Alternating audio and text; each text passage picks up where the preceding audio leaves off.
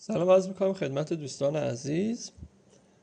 ما از امروز قرار part دوم این دوره رو شروع بکنیم. ما تو part اول در رابطه با Git صحبت کردیم و تو part دوم می‌خوام بریم سراغ GitHub اول راجع به صحبت کنیم مثلا GitHub چی هست و قراره چه کمکی به ما بکنه و چه تفاوتی با Git داره. اگه بخوام یه تعریف یه خطی راجع به GitHub داشته باشیم من این تعریفی که الان توی خیلی از سایت ها هست رو می نویسم میگم GitHub الان بزرگیش هم می‌کنم سایزش که راحت ببینید. یه پلتفرم hosting ه hosting می‌دونید دیگه؟ شما وبسایت های هستن سرویس های هستن که hosting سرویس hosting رو میدن و شما می‌تونید فایل هایتون رو اونجا قرار بدید. اینا مثل همونه. اما GitHub اختصاصی برای چیه؟ برای repository Git ه. یعنی شما repository که به صورت local ما تا الان داشتیم رو سیستم خودمون کار می‌کردیم رو می‌تونید اینجا برید بذارید. حالا چرا این کار باید بکنیم؟ من اینو بزرگش بکنم. چرا ما باید بیایم repository م رو ببریم روی GitHub خب یه دلیلش اینه که شما همه جا بهش access دارید. یعنی اگه لپتاپتون همراهتون نبود خیلی راحت می‌تونید کداتون رو از توی GitHub بردارید. و کار بکنید. یه دلیل دیگرش اینه که شما می‌تونید کداتون یا repository تون رو با دیگران به اشتراک بذارید. مثلا شما می‌خواید یه پروژه رو سه چهار نفره کار بکنید.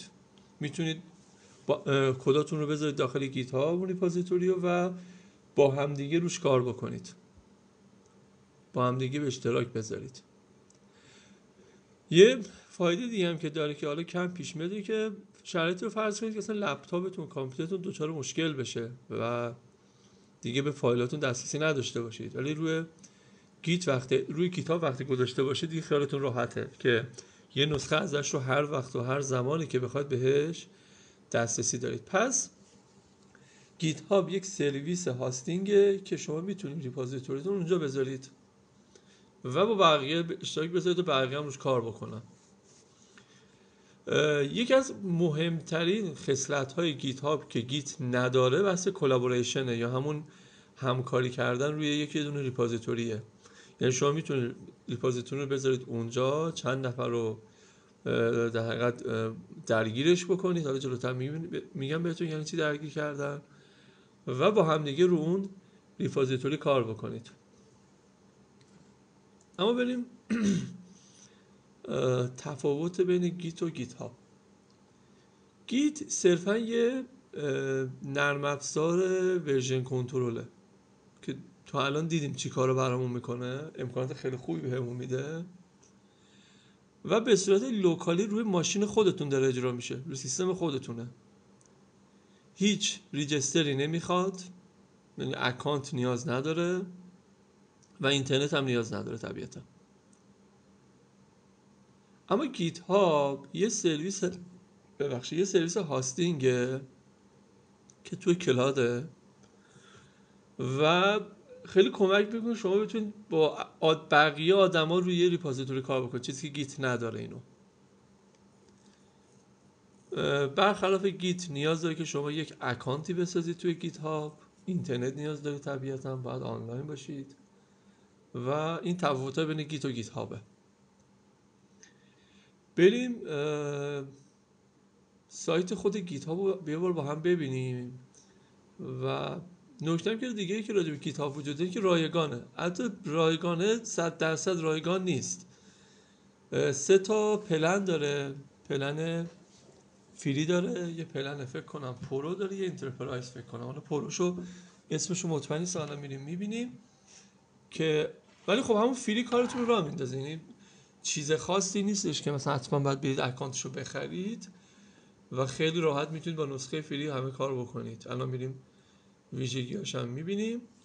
بریم سایتش رو باز کنیم. بس بیگیتا بچه فوق العاده محبوب این تو دنیا و میشه به جرات گفتش که بالای 80 90 درصد مارکت رو دستش داره. یعنی چون ما سایت های مشابه گیت هاب هم داریم بچه ها سه چهار تا سایت معروف دیگه هم هست. اما عمده بازار دست گیت, هابه رو خود سایتش هم یه جایی می نوشتی اینو. بذارید ببینم هنوز هست یا نه. این فیچرهای مختلفی که کتاب بهمون میده حالا حوصله داشتید اینا رو بخونید یه جایی اشاره به تعداد یوزراش می‌کرد. نزده. برداشتش. خیلی خوب. این سایت GitHub ه خب.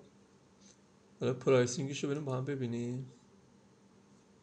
نگاه کنید بچه ها یه نسخه free ای داره که خب unlimited public unlimited می‌تونید repository داشته باشید. یعنی اصلا بدون دغدغه. بعد امنیت و version آپدیت و اینا اتومات برقراره. و کلی چیزا دیگه بهتون میده. توی نسخه تیم که ماهی چهار دلاره و واقعا قیمت خیلی پایینیه یعنی به پول ما هم میشه حدود 250 300 هزار تومان در ماه کل امکانات دیگه هم بهتون میده علاوه بر اون. و تو نسخه enterprise هم که 21 دلار در ماه که باز پول زیادی نیست حتی برای یک شخص میشه گفت ولی در حقیقت امکانات خیلی خیلی بیشتری میده خب برای سازمان و ارگان بزرگ استفاده میشه. بعد دیگه نکته دیگه اینجا بخوام بهتون بگم. دنبال اون عدد رقم هم که یه جا نوشته بود. اینا که هیچی. مقایسه سه تا پلناست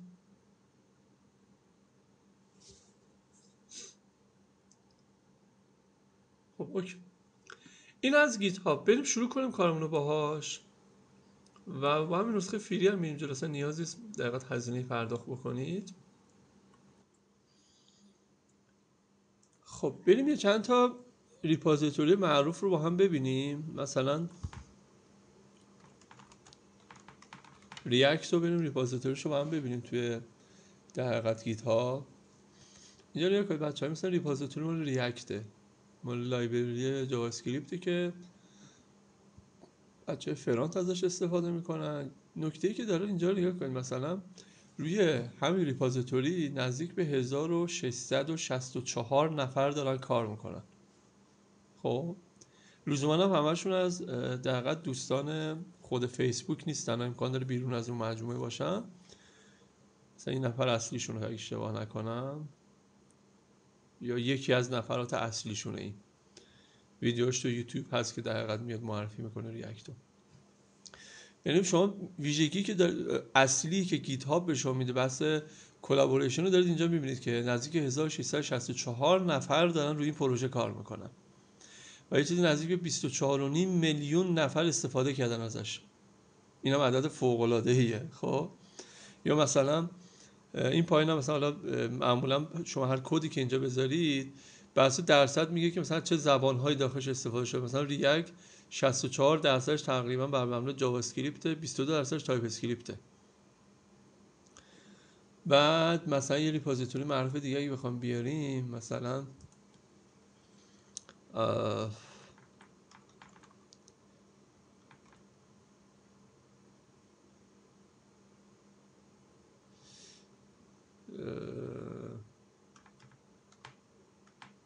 دیکترشون هم چون یادم رفت.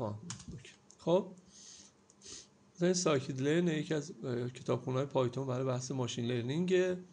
اینجا هم نگاه کنید بچه مثلا رو این مثلا نزدیک به 2900 نفر دارن کار می‌کنن. و 900 هزار نفر ازش استفاده کردن تا الان از این کتابخونه. و 92 درصدش بر مبنای پایتون 5 درصدش بر مبنای نشیدم سایتونه و الی اینجا هم توضیحاتش رو میده و الی آخر نحوه استفاده. این یکی از اون ویژگی های جذاب GitHub ه بحث collaboration که شما روی پروژه نفرات خیلی زیادی می‌تونن کار بکنن حالا اینکه چه جوری کار می‌کنن رو جلوتر خواهیم دید. نکته بعدی که راجع به GitHub وجود داره و شما می‌تونید ازش استفاده بکنید اینه که به عنوان صفحه شخصیتون هم می‌تونید استفاده کنید ازش. یه جوری حکم رزومه کاری شما رو داره. یه سری کارفرماها حالا چون حتی تو ایران خیلی مواقع شما می‌تونید لینک پروفایل گیتابتون رو بدید و بگید من نمونه کارم مثلا اونجا هست می‌تونید ببینید. یا بعضا خود اون شخص در مراجعه می‌کنه به پروفایل شما تو گیتاب. مثلا یکی از این دوستان انتخاب کنیم مثلا بریم ببینیم با هم دیگه. ببینیم مثلا ایشون چی کار کرده. مثلا این صفحه شخصی ایشون مثلا. مثلا روی 270 تا repository الان داره کار می‌کنه و روی scikit-learn داره کار می‌کنه مثلا بعد و چیزهای دیگه. یه حالت رزومه طور هم هست یعنی شما می‌تونید تمام پروژه‌ای که روشون کار می‌کنید اینجا بذارید. این سمت راست هم یه نمودار کشیده فکر کنم نمودار زمانیه که داره روی پروژه کار می‌کنه. و همین. تا اینجا یه توضیحاتی هست. توی پاریس زندگی می‌کنه ایشون. بعد مثلا این سایت شخصیشه مثلا لینک کتابشه بخشید توییترش هم گذاشته لینکدینش هم هست و و چیزای دیگه. پس یه حالت رزومه و صفحه شخصی هم می‌تونه برای شما داشته باشه این GitHub که ازش استفاده بکنی. ولی ویژگی اصلیش هم بحث collaboration ه یه نکته ریزی دیگه هم بگم و بریم بیام جلسه بعدی ادامه بدیم. بحث آپدیت بودن بچه ها شما اصلا تو همین اگه شما اصلا همین React رو دنبال بکنید repository شو اینجا می‌تونید بفهمید که مثلا آپدیت های جدیدی که اومده چیه. آیا قراره آپدیت بیاد تغییری داشته نداشته؟ و همه اینا رو می‌تونید متوجه بشید. خیلی ساده. راجبش صحبت خواهیم کرد.